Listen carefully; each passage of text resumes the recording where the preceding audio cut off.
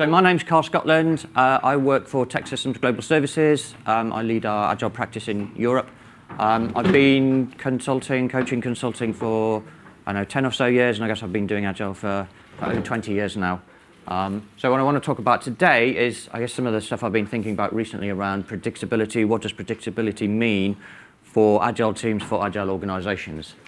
Um, so if we start with, you know, why do we want to talk about predictability?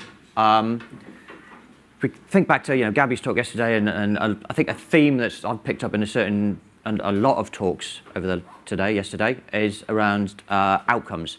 So we want our organizations to be more successful. That's why they bring us in as coaches. That's why we help them do organizational and agile transformations. What do we mean by helping them being more successful?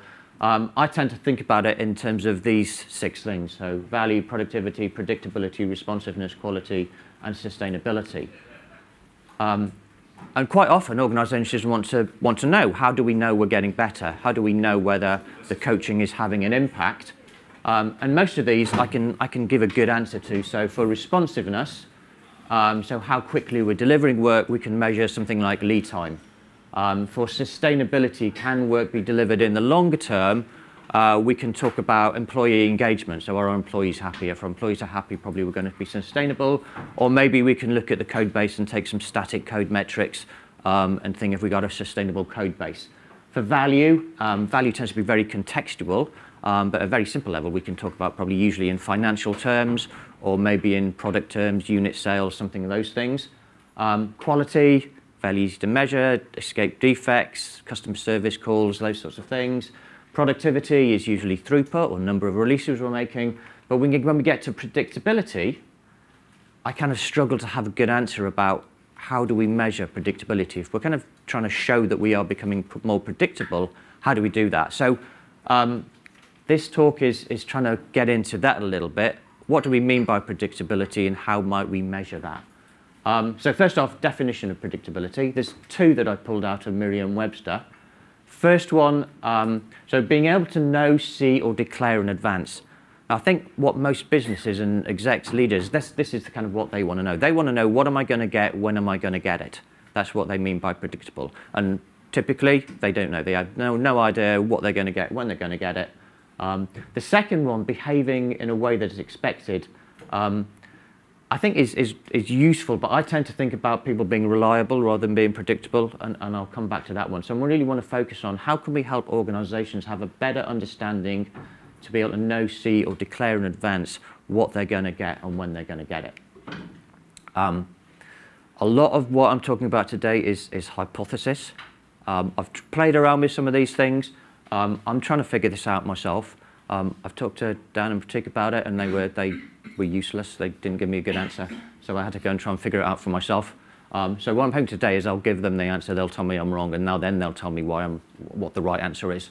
Um, but actually, part of this is, is kind of saying if I can go out and kind of just throw some ideas out there, maybe you'll kind of get some ideas. You'll go away and try and, and test some of these hypotheses yourself.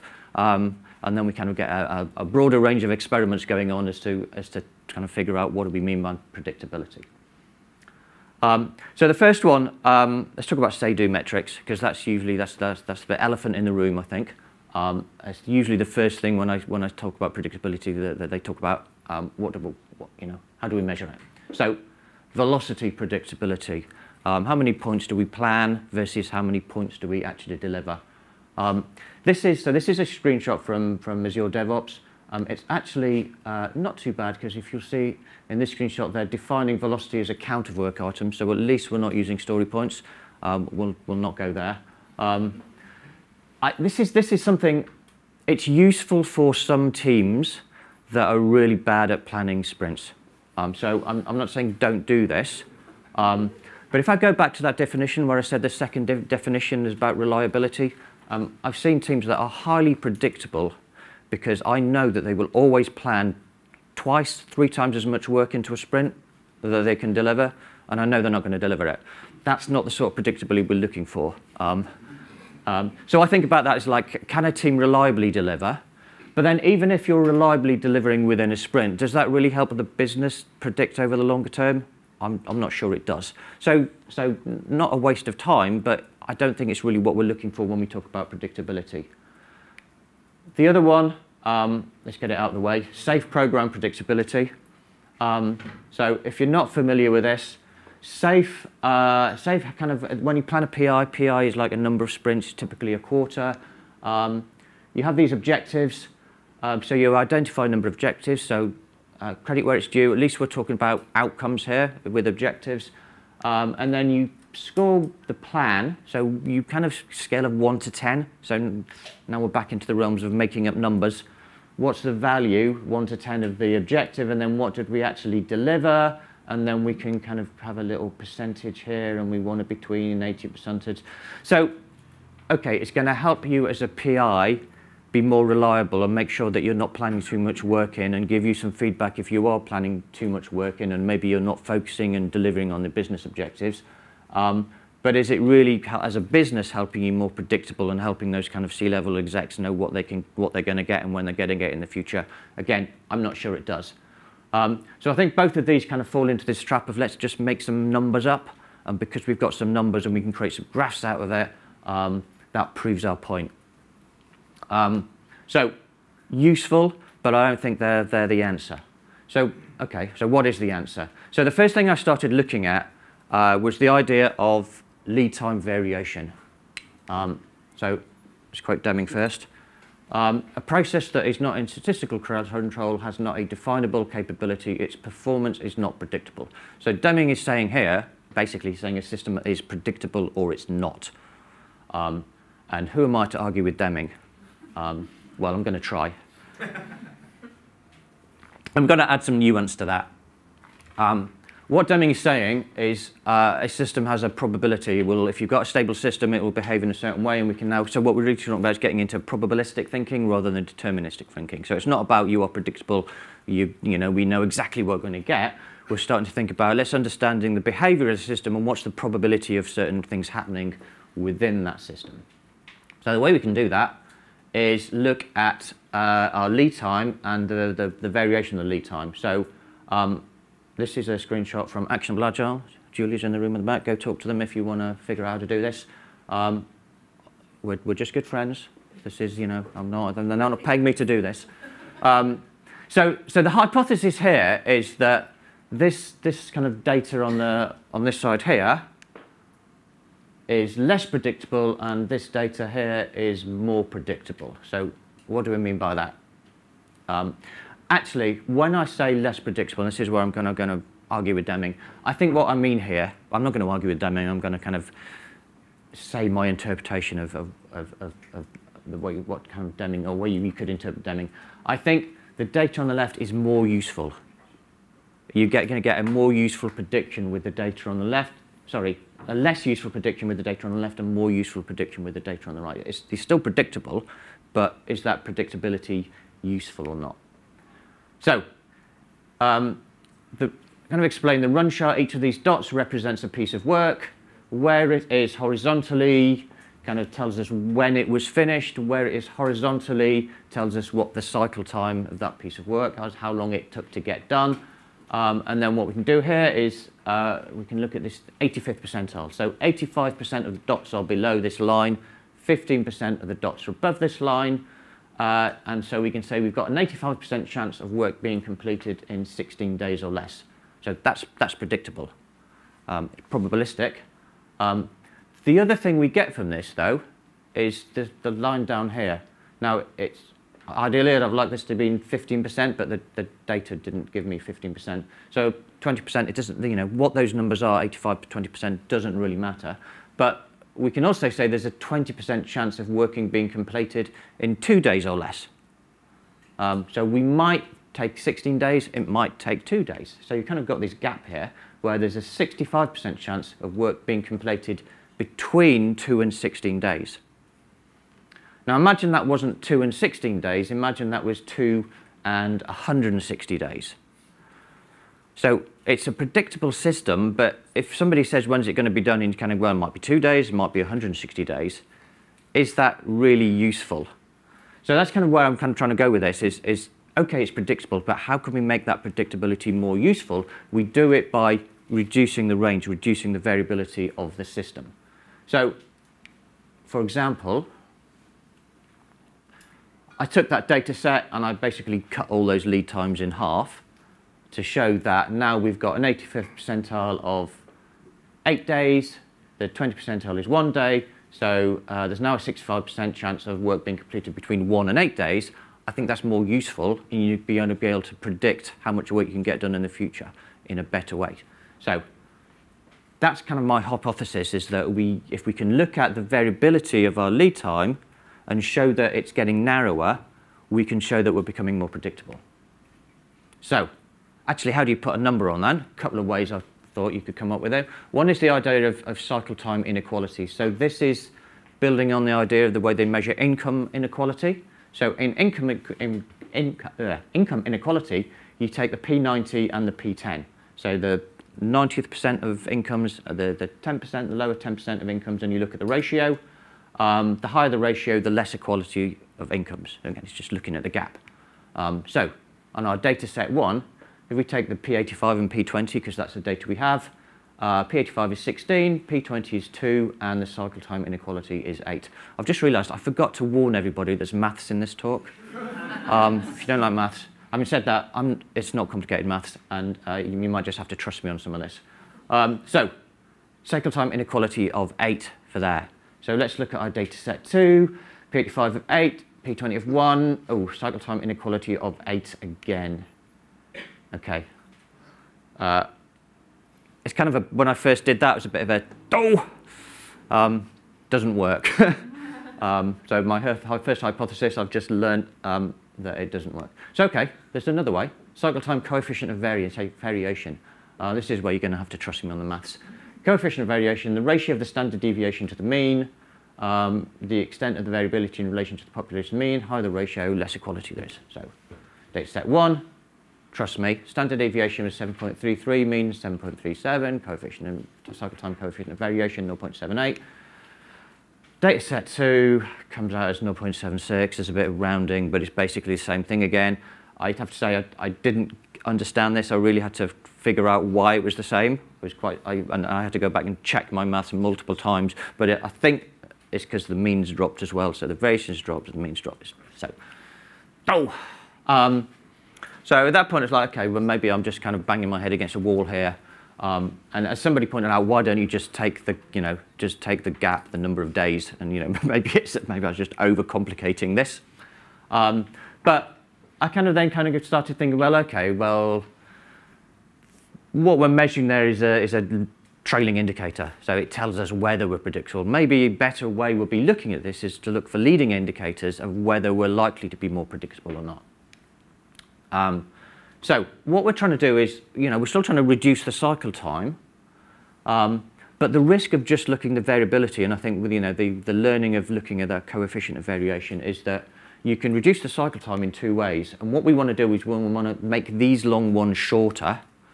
We don't want to make these short ones longer. Um, so we don't want to make become more predictable by taking longer and making everything longer. So basically, we want to look at our aging WIP. So done yesterday. There's one metric you look at, look at aging WIP. Um, um, I think actually if we look at aging WIP, we can correlate that to being more predictable. So I'm going to just explain this chart. Again, I love this chart from Maximal Agile. Um, I, it took me a while to get my head around it, so hopefully I'll try and explain it. Um, it's that same. It's based on that same data set. So you've got the 85th percentile at 16 days, etc. So this line here and these bars are saying 85% of, 85% of work is done in 16 days. And then we look at how, what percentage of work does it take to get into testing. So 85% of work goes from dev done into testing in 14 days. So we're basically looking at the flow through our process um, and the percentage that work gets through to each stage. Um, so 85% of work is in dev in 13 days, 85% in data active in 10 days, 85% in analysis done in five days. So what this is telling us is we've got, and there's, there's these, there's little three, you can't really see it, there's a three on there, it basically means that dot represents three pieces of work. Those pieces of work already have a more than 85% probability of taking longer than 16 days. That's what this chart is telling us. Anything that's in that orange zone we want to be paying attention to. And if there's anything in the red zone, we really want to be paying attention to. Um, so if we know that things are going to take longer and we can pay attention to those sooner, we can start bringing down those higher dots on the run chart, which is going to naturally reduce the variability, but it's going to reduce the variability by making things shorter rather than making things longer.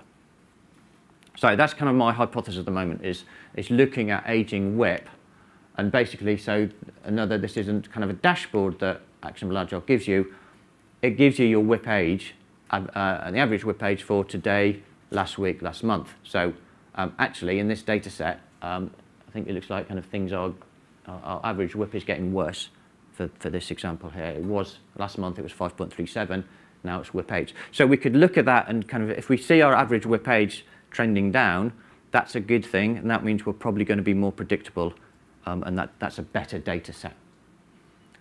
Um, how much time have I got? 15 minutes? So um, the next step then is, is to think about, well, what's causing that WIP to age, and can we learn anything from that? So the kind of the last thing is uh, looking at blockers. Um, typically, work ages because it gets stuck, because it gets blocked. So this is now looking at a, a different app. So this is from Troy Magennis and here's a, a blocked app. So he's, this is looking at the number of things that are blocked and how long they've been blocked for. So you can see the kind of different colors up here.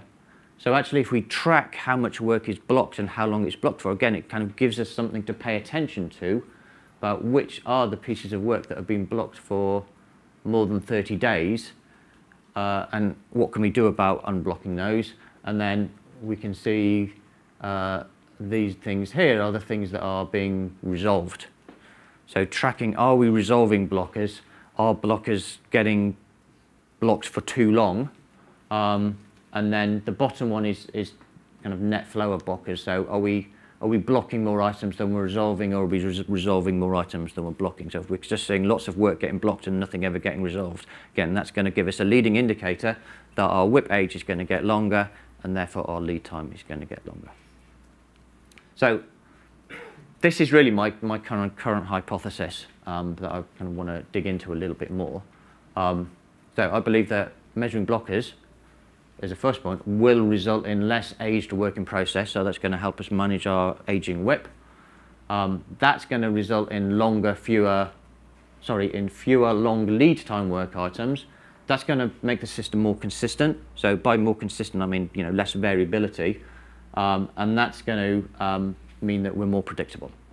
Um, so how am I going to test this? Well, ultimately, you know, it's a kind of more subjective test around talking to stakeholders and do you have more confidence in your plans? But that's really what we're trying to get to. Um, our, our, leaders, our, our, managers, our execs kind of saying, okay, when, when you tell us how much you're going to deliver and when you're going to deliver it, um, we have confidence in, in that's what's going to happen. Not, not a guarantee, it's not deterministic, it's still probabilistic, but, you know, given that 85 percentile should be good enough. Um, just a, kind of a, this is this is my last point, and I'm kind of going to, to Q and A, which is would just to I guess re-emphasize. I'm kind of worried that I do this talk and people kind of think I'm obsessed with predictability and absolute predictability. Um, we still want, you know, there's still value in deviation, there's still value in variability. So a couple of quotes, you know, without that deviation, you don't innovate, you don't make progress, um, and you know, sometimes you want to see that deviation and figure out how to exploit it. Um, so predictability is just one of those six areas, and that's why I want to look at those six areas um, so that if we're over obsessing on predictability, it's not having an impact because you know one way of being predictable is just to take a long time over everything, pad everything. What you'd see there is your throughput going down, so you'd be less productive, or maybe you'll be less responsive, um, or, or you know maybe you're kind of rushing things through and it has an impact on quality. So we want to make sure that by measuring predictability, we're not kind of having a negative impact on all the other, all the other things. So um, that was it. Well, I rattled through that really quickly. So I like I know I, I did rush through some of the maths there. Um, kind of give you actually before um, before I give you questions, I'm just going to plug Lean Agile Brighton while I've kind of got the uh, got the microphone. So Friday, October the 21st, uh, Lean Agile Brighton is back. We're kind of doing a one-day single-track conference. Uh, got a nice new venue near the station um, which was purpose-built during COVID, so definitely COVID-friendly. Um, so hopefully he'll come see you then. Uh, I know Julia's on the programme agreed, so we'll be announcing that. Uh, Dan and Pratik might be on the reserve list. Um, I think I'm gonna, I think I talked Gabby into talking as well yesterday, last night as well. All right, so enough of that. Uh, how much do we, do we have time for questions? Yeah, you've got 10 minutes. Oh, I've got 10 minutes for questions. All right. any, any really different questions for Dan in particular at the back? Yeah. So your um, your kind of basis is uh, on how predictable uh, the work items are, and you're measuring days or, uh, for completion. How do you? Um, that seems to be dependent on how big a piece of work is. So how do you get for your measurements to be valid? Do you not have to have some sort of consistency on the size of work? Um, so without trying to make them exactly the same, I mean, the, I think the smaller the items, so we talk about right sizing, um, but having said that, I don't, I, it still works because you're looking at the system, you're looking at the whole data set, and um, probably the mix of work items in the future is going to be similar to the mix of work items in the past. Now, if you know that's going to change, and you know that the mix of work items in the future is going to be different to the past, probably that's going to that's going to impact on your ability to forecast. But usually there's a kind of fairly similar mix. Um, what I would probably tend to do rather than estimating is maybe have different work item types, and then you can segment by work item type. Um, but actually, usually, just it's just mix. It's just natural variation, um, and you're always going to get that natural variation. Having said that, trying to right size things and make things smaller means that you'll get things done more quickly um, and will make things more consistent in sizing. So still a good thing to do. Can I just add that that's a non-linear benefit as well? Um, I, I studied some on my own data and found that when we, we had what we called the five-day rule, and how long items, how big items are allowed to be, and that became the two-day rule. And we found that it reduced our, it reduced the time, reduced the likelihood of things getting blocked and taking a long time dramatically, a lot more than, uh, was it sixty percent or whatever? Yeah. Really, really massive difference. There's much less room for the nasties to hide in something small than there is in something big. Yeah. Yeah. Yeah, but just that. So if you know your, you know, your 85th percentile, um, one of the questions you're asking is when you start a new piece of work, or before you start a new piece of work, is do we think this is small enough to get done within 16 days in that data set? So if you if you're looking at a piece of work and kind of going, whoa, this is way more than 16 days, that's your first signal that maybe you should start breaking it down. To the point at which you kind of go, yeah, this this feels like we can get it done within 16 days, and that's how you start getting the consistency. But you need to you need to measure it first. Um, is there any clarification you'd add if the context is a team of teams, potentially where the teams are using different methods or different structures? Could you apply it just the same as how you've discussed, or is there any uh, tweaks or caveats you would add in that scenario? Um, so if you're doing it at the at the I guess the team level, you need a some kind of consistency of workflow, but actually um, at the the very minimum is a not started doing done. You're going to get less granularity on your WIP aging probably, um, but if you can agree a, a similar simple workflow there. Um, but then also you can do this at the so if your your team level user stories or whatever you're you know you're using, um, if above that you've got something like a you know a feature, um, you can do this at the feature level as well. You're going to features will probably move a little bit more slowly, so you're going to get a little bit less feedback. Um, but you know you probably do both. Okay.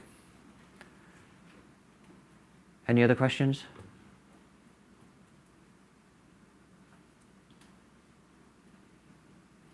Yes. So I think it's uh, one of the good takeouts from those famous Spotify videos is the predictability innovation trade-off. Mm-hmm. So I'm just sort of thinking now. I mean, you kind of alluded to it. Predictability is just one of the things you can measure, and people fetishize it. Just I think everything you found yourself in situations where you're saying, for Christ's sake, stop trying to be predictable. Like maybe even do the opposite. Um, I, I've never seen a team be so predictable and so obsessed by predictability that right? yeah, yeah. Usually teams are like massively unpredictable or organisations, and you're trying to bring in some so it's almost stability. In my, in my case, I think it's more management are obsessed with it and are killing off any joy in being any of it. Yeah, some of that is that education around moving to probabilistic thinking from deterministic thinking because they just want to, you know, they they effectively think of it in terms of 100% probability. So there's there's there's a bit of education there usually around shifting to that way of thinking, kind of going, when we say a certain date, it's, it's an 85%, so there's still a chance we might not make that. And I guess the other side of it is that I didn't really talk about here, um, is the, not just when you're going to get it, but what you're going to get. So really what you're predicting is, is a number of work items. You're not necessarily deciding what those work items are yet, because you want that to change as you iterate, as you, you know, you get feedback um, and you, you kind of pivot.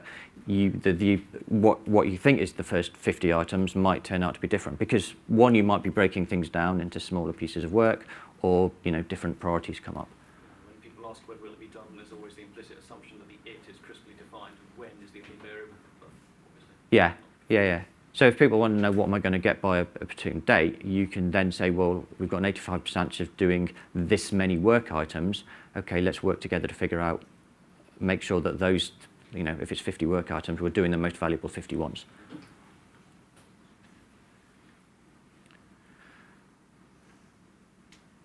All right. Thank you.